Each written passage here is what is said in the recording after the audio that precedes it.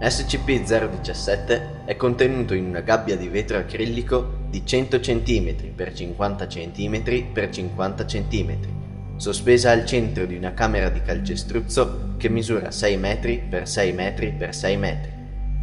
Attaccate alle pareti, al soffitto e sul pavimento della stanza ci sono lampade ad arco ad alta intensità, puntate direttamente sulla gabbia acrilica per garantire che SCP-017 sia costantemente esposto alla luce da ogni angolazione.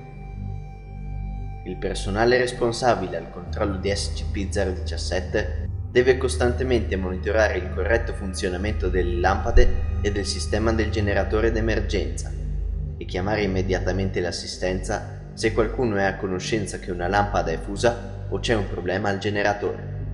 L'unica circostanza in cui è consentito al personale di entrare è quello di sostituire le lampade.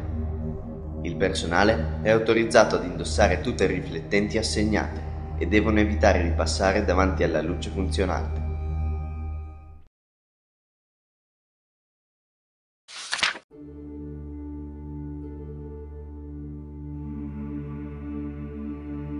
SCP-017 è una figura umanoide alta circa 76 cm, anatomicamente simile ad un bambino piccolo, ma senza le caratteristiche che lo identifichino.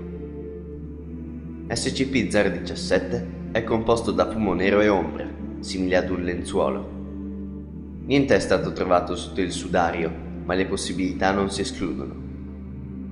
SCP-017 reagisce alle ombre prodotte su di esso con rapidità immediata. SCP-017 salta sull'oggetto che produce l'ombra e la raccoglie completamente sotto il lenzuolo. Dopodiché ritorna alla sua forma originale, senza lasciare traccia dell'oggetto.